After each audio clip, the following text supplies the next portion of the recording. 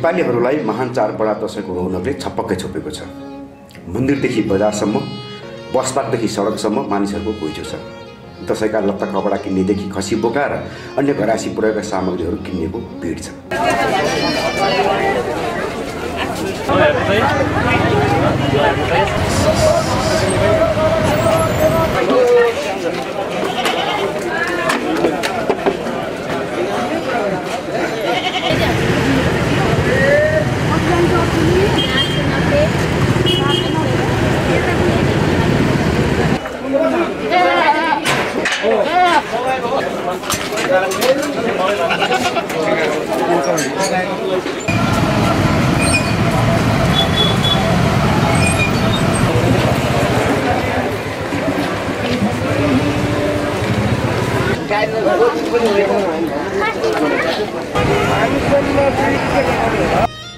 दसैँको धार्मिक सांस्कृतिक र प्राकृतिक पक्ष विशेष छ। दसैँमा मातृशक्तिको आराधना हुन्छ ईश्वरीय सृष्टिको चर्चा हुन्छ। घटस्थापना नवदुर्गा पूजा अर्चना फुलपातीको विशेषता र जमरा अनि टिका दसैँका शास्त्रीय चिन्तनका प्रतीक मूर्त कर्मकाण्ड मानिन्छ। दसैँ मातृशक्तिको महिमा गाउने पर्व हो। मातृशक्तिको उपासना गरेर जीवनलाई गतिशील बनाउन ऊर्जा प्राप्त गर्न र परिवार समाज र छरछिमेकमा सद्भाव शुभकामना आदान प्रदान गर्दै आनन्दले रमाउने यो पर्वको दसौँ दिन दशमीको विशेष महत्त्व छ। टिका लगाई आशीर्वाद दिने र संयुक्त पारिवारिक संस्कृतिको भावनालाई जीवन्त बनाउने यो दिन घटस्थापनाको दिन स्थापित कलशको जलले अभिषेक गर्दै देवी विसर्जनका कर्म पुरा गरिन्छ।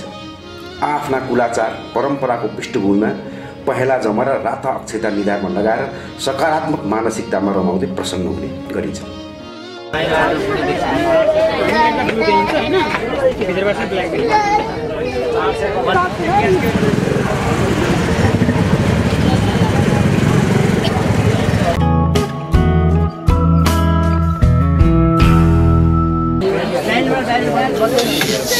ちょっ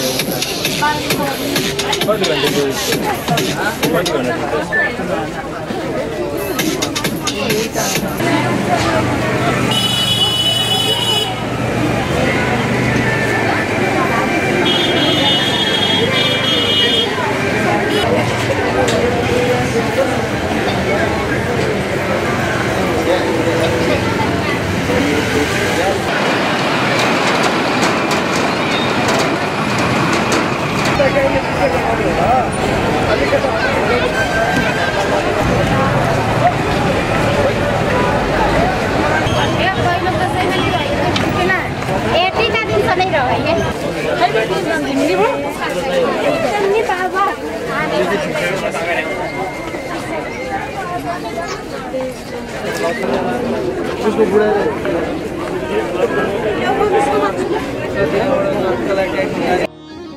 शक्तिपीठहरूमा दर्शन गर्नेदेखि बजार समेत मानिसहरूको मुहारमा खुसी छ। उनीहरू आफ्नो गच्छेले भ्याएसम्म मन फुकाएर खर्च गरिरहेका छन्। पर्यटक चाहिँ ठुलो आर्थिक कारोबार हुने पर्व पनि हो। दसैँको रौनक बेग्लै हुन्छ। केटाकेटीदेखि बुढापाकासम्मले दसैँको प्रतीक्षा गरिरहेका हुन्छन्। दसैँ पारिवारिक मिलनको पर्व पनि हो। घरभन्दा टाढा रहेका र विदेशमा बसेकाहरू समेत दसैँमा घर पुग्छन्। त्यसैले अहिले दसैँको चर्चा र चटारो दुवै छ। काठमाडौँ लगायत देशका ठुला सहरहरूमा जताततै यस्तै भिड र हतारो देखिन्छ।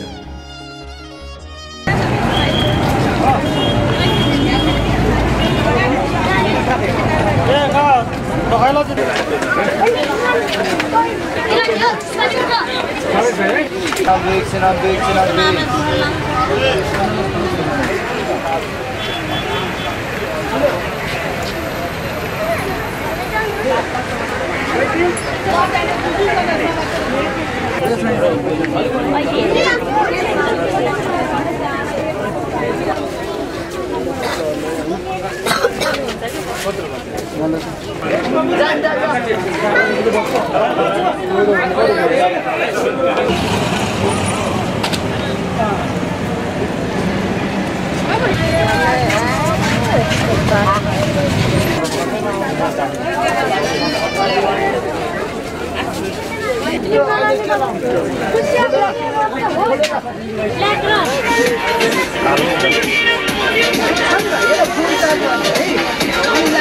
Old on demand.